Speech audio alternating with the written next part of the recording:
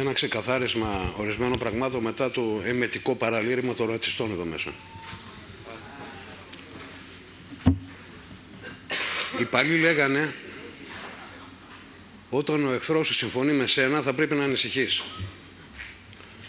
Και εγώ αναρωτιέμαι αν οι υποψήφοι της παράταξης μένουμε Θεσσαλονίκη συμφωνούν σε αυτή την τοποθέτηση που έγινε με τον επικεφαλής εδώ μέσα. Και συμφωνώ με μια προλαλή σας ότι δεν είναι η πρώτη φορά. Κάποιοι προσπαθούν κάτω από δίθεν αριστερές προ, προσωπία να βάλουν την ακροδεξιά με έναν αφανή τρόπο, δίπλα στον εμφανή τρόπο, τον εμετικό, επαναλαμβάνω. Δεν υπάρχει κόμμα το οποίο να είναι περισσότερο αντίθετο με τις ΜΚΟ και τη δράση τους. Είναι πραγματικά σαπίλα.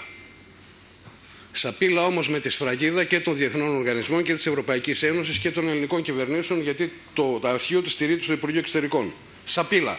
Και πρέπει να φύγουν εντελώς από το προσκήνιο και όλα αυτά τα ζητήματα που συζητάμε, προσφυγικό, μεταναστευτικό κτλ. εξ ολοκλήρου να περάσουν στη διαχείριση του κράτους και σε κανέναν άλλον.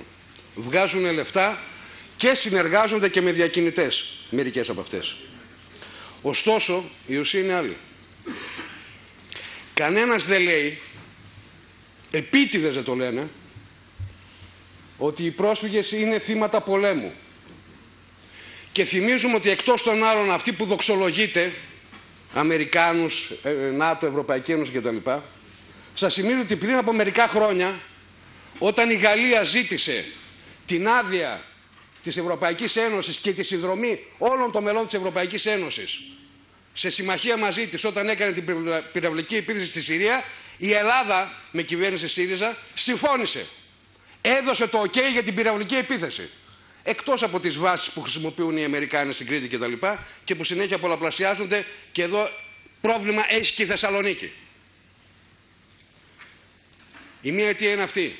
Η άλλη αιτία του προσφυγικού, που κανείς πάλι δεν μιλάει, είναι η περίφημη συμφωνία Ευρωπαϊκής Ένωσης και Τουρκίας που τους εγκλωβίζει εδώ. Και πραγματικά προκαλεί και στους κατοίκους, όχι με τον τρόπο που υπόθηκε από τους εμετικούς, πραγματικά προκαλεί προβλήματα στους κατοίκους, το οποίο όμως δεν λύνονται με αυτόν τον τρόπο.